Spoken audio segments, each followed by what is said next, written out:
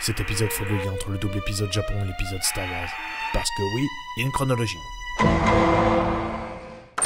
Un colis pour vous. Merci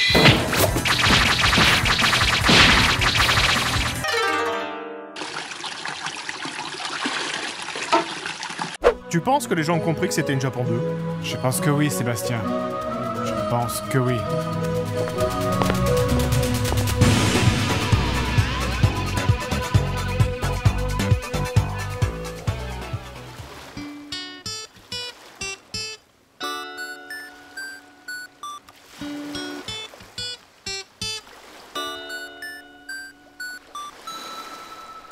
Un, deux, trois, quatre.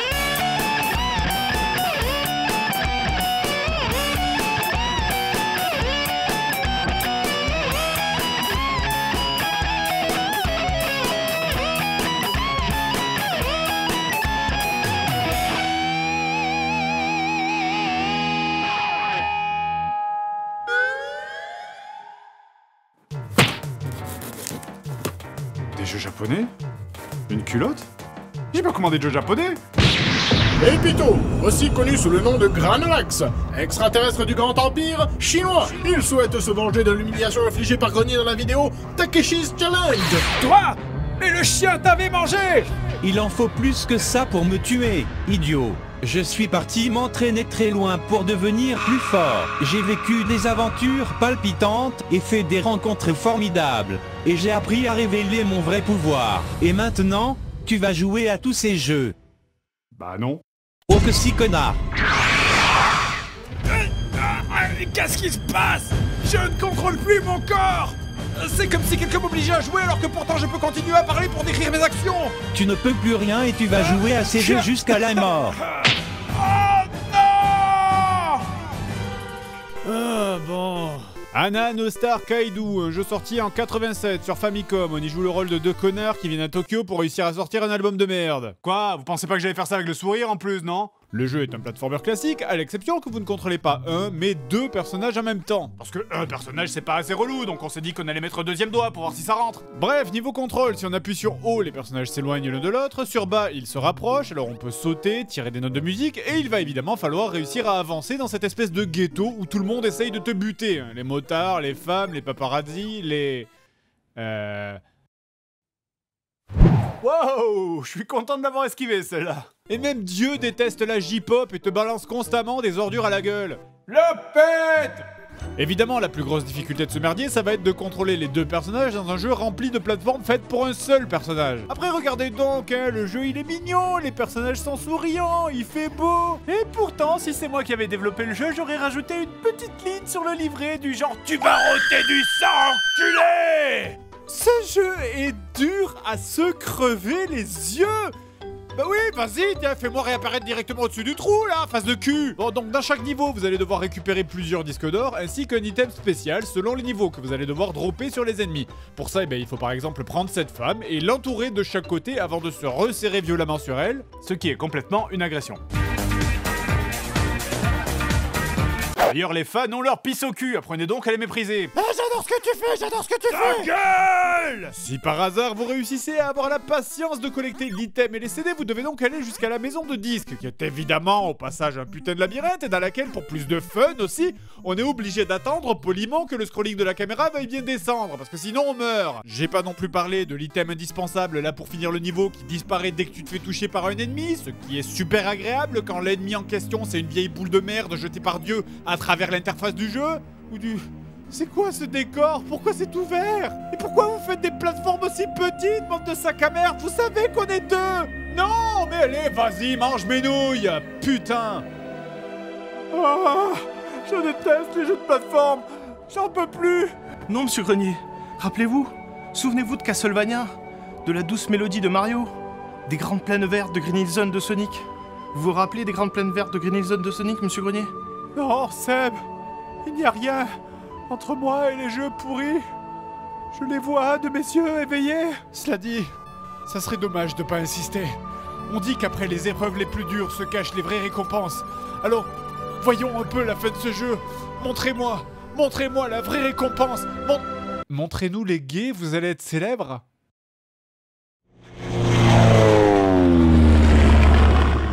Très bien, et maintenant prends le jeu suivant. On dirait qu'il a réussi à matérialiser son esprit combatif sous la forme d'une licorne avec un pagne Ça ne veut rien dire. Je suis la réincarnation du Yamata no Orochi et je t'ai retrouvé Susanoo. En effet, le Yamata no Orochi, un serpent à huit têtes qui a été tué par Susanoo, un chasseur protégeant sa fille, se réincarne tous les 10 000 ans pour chercher sa vengeance. Pepito serait donc la réincarnation du Yamata no Orochi. Et Grenier celle de Susanoo? Mais je ne suis pas Susanoo Subis la puissance de Starlight Unicorn. Bon, Je le fais, mais vraiment parce que le jeu est déjà dans la console. Bon, Transformers Convoy no Nazo, sorti sur Famicom en 86. Le jeu est un side-scroller en 2D. Ok. Le jeu est un... Mais- Mais putain Le jeu est une gaufre à la merde Beaucoup trop dur pour un être humain Putain Bon, vous contrôlez donc Ultra Magnus, parce que c'est évidemment le premier personnage que les gens veulent jouer dans un jeu Transformers. Eh, faisons un jeu Dragon Ball Z où on jouerait uniquement Yajirobe, ça sera génial Donc le but c'est d'avancer jusqu'à la fin des niveaux, hein, simplement, vous l'avez vu Oui C'est ce genre de jeu Seulement deux vies.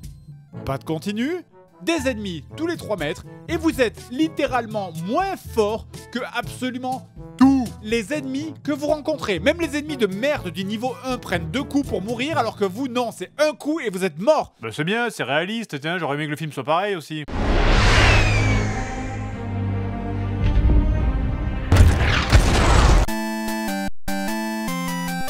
Ah oui, et vraiment, super idée de foutre des projectiles blancs sur une montagne blanche. Regardez, c'est impeccable, je vois rien. Bref, vous avez deux boutons, sauter et tirer. Impossible de se baisser, ce qui entre nous est un peu ballot, hein, surtout quand tes projectiles passent un millimètre trop haut pour toucher les ennemis au sol. Et putain, mais arrêtez de me flasher la gueule comme ça, enfin C'est quoi Ça, c'est un écran titre ou c'est un test pour détecter l'épilepsie? Alors bon, vous pourriez appuyer sur bas pour vous transformer en camion pour atteindre les cibles trop basses, mais la transformation, elle prend un siècle, putain Bon, après cela dit, la transformation, elle est quand même utile au moins dans le niveau 1, parce que les avions ennemis ne peuvent du coup plus vous toucher. Dommage que ça s'arrête tout seul au bout de quelques secondes. Ah Allez, vas-y, fonce à deux... Mais non Mais ta sœur Et depuis quand les Autobots, là, ils peuvent plus garder leur forme véhicule indéfiniment? Autobot transformation ah ah ah ça fait mal putain ça merde à pu Enfin bon, le niveau 1, c'est fini, c'est parti pour le niveau 2, et du coup, j'espère que ça sera moins la galère. On entame donc le niveau 2 avec des nouveaux ennemis variés, hein, comme des gambas ou des moules. Nous avions raison. J'en ai crustacé de vous Et le premier gros changement, la transformation en véhicule ne sert plus à rien puisque tous les niveaux se passent dans l'espace en mode jeu de plateforme et que bah, c'est ballot mais les camions ça saute pas. Chauffeur, si t'es champion, reste dans le trou comme un con. En gros, le jeu s'appelle Transformers, mais tu te transformes jamais. Ah, ça voulait dire ça Et nouveau problème, à partir du niveau 2 et jusqu'à la fin du jeu, les ennemis, contrairement à toi, passent tranquillement à travers les murs et du coup en profitent pour se cacher à travers les textures. Surprise, motherfucker. C'est quoi ce truc de merde là Un ballon de plage Decepticon? Vous savez, beaucoup de jeux tirés de licences de cette époque étaient pas terribles, mais on s'en foutait parce qu'on était juste content de jouer avec les personnages qu'on aimait. Mais là, il y a même pas ce plaisir Ce jeu, c'est un manche de frein à main collé dans le cul des fans de Transformers. Oui, c'est un jeu Transformers, alors j'adapte mes blagues sur le thème de la mécanique. Je veux dire, les décors sont tellement recyclés qu'il faudrait coller une étiquette bio sur la jaquette du jeu, et le seul truc qui te rappelle que tu joues à un jeu Transformers, c'est quand les devs viennent te chier un vieux logo dans l'assiette. Hé, hé, regardez ce truc là, c'est un logo de Decepticon, donc ça va, on est bien dans un jeu Transformers, non Hein Hein Bon, allez, je suis mauvaise langue, il y a quand même des sprites de robots. Sont nominés pour la meilleure animation de sprite de la Famicom. Et du meilleur décor de fond. Transformers, les couilles d'un lazo.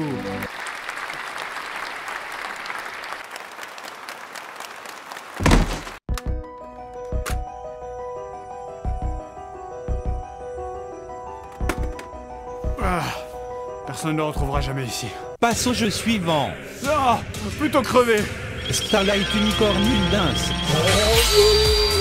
Non, ok, c'est bon, tout ce que tu veux. Bon, du coup, c'est parti pour Super Monkey Daibuken, un jeu basé sur la légende du roi singe. Cette légende chinoise qui a notamment donné Dragon Ball. Ce jeu est une légende. Il fait partie de la Triforce des jeux de merde japonais avec Stargazers et Takeshi's Challenge. Le jeu commence donc par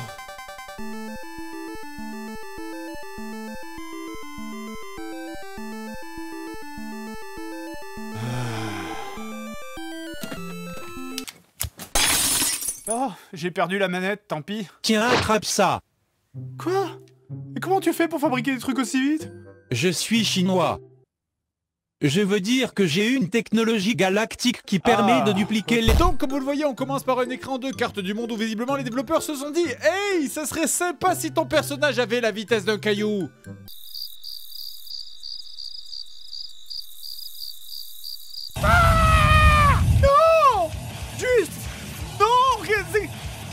C'est aussi fun que de violer un cheval mort on dirige une petite équipe composée du roi singe et du prêtre sur son cheval. Alors le jeu a un cycle jour-nuit, ce qui est plutôt pas mal pour l'époque quand même. Et on dispose de la barre de vie de chaque membre de l'équipe ainsi que d'une barre d'eau et de nourriture qui diminue avec le temps. Alors le jeu c'est quoi finalement? Eh bien on erre sans but sur la carte à la recherche du fun et d'éventuellement une putain de sortie. Et parce qu'au Japon on sait comment s'amuser...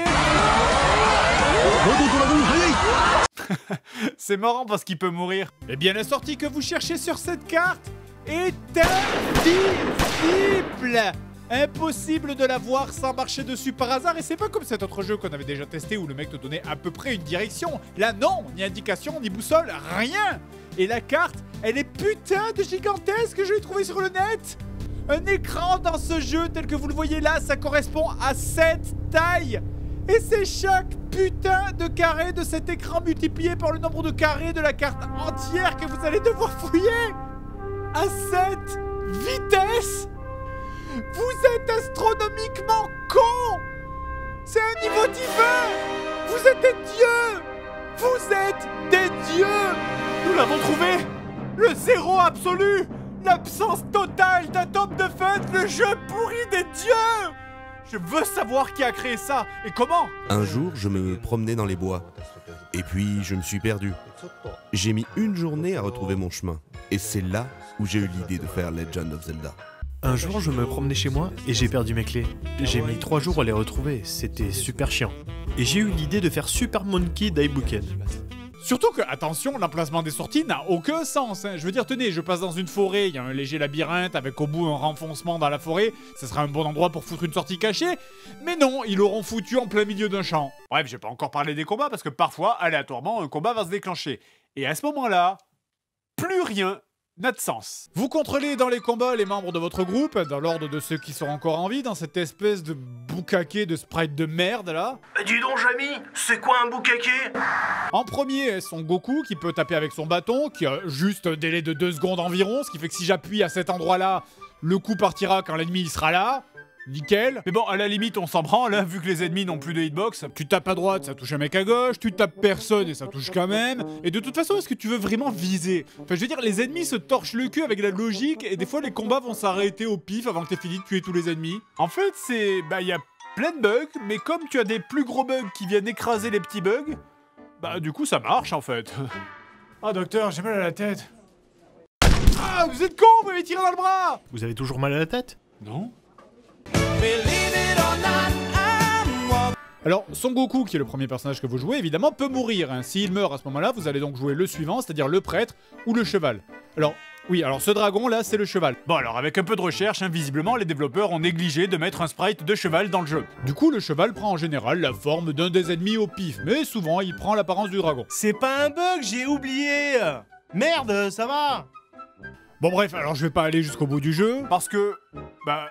Bah merde, je veux dire, vous le finiriez, vous, le jeu, à ma place? Et j'ai beau avoir essayé de crever de faim ou de me suicider, mais le jeu est tellement branlé qu'il il veut même pas me laisser mourir Laisse-moi mourir, putain Ce jeu, mais c'est le God Michel de Satan Mais putain, mais les ennemis se suicident sur moi et ma vie remonte en plus Alors ce jeu est resté assez inconnu du grand public, hein, notamment en Occident, parce qu'il n'est pas aussi populaire que Takeshi's Castle. D'ailleurs, fait amusant, un des développeurs a mis un message caché dans l'écran titre du jeu, et pour vous, nous l'avons fait traduire.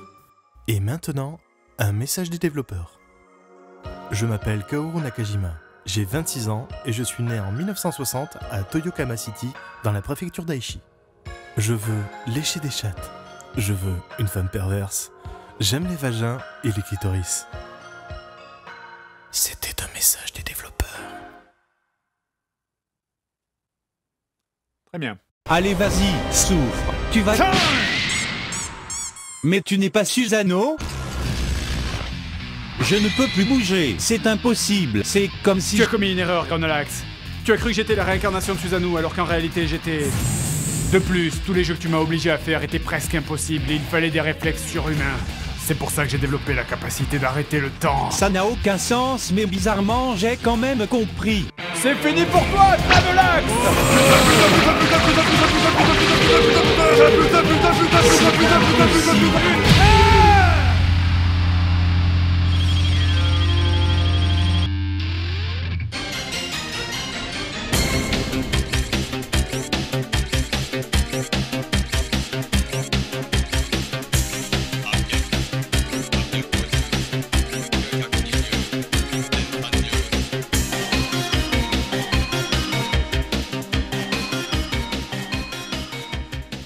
Sa Majesté Granolax. Mettez-le dans la cuve tout de suite.